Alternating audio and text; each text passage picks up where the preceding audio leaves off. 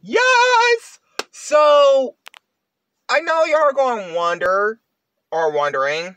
I don't know why I said wonder. But, yes, um... I actually got the Glow Berry Prime. Um... So, if y'all are not gonna be familiar with this, it's actually made by Logan Paul and KSI. The boxers. And, well, let's not forget Logan Paul is the United States champion. So, yep. Uh, I actually, I actually picked this up from a, a gas station like three days ago. I mean, it reminds me of um it reminds me of uh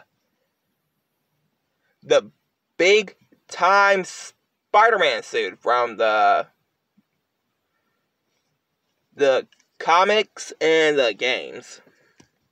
Um yes, uh I got into this uh prime uh stuff way back of October a year ago, right before I had surgery out of my gallbladder.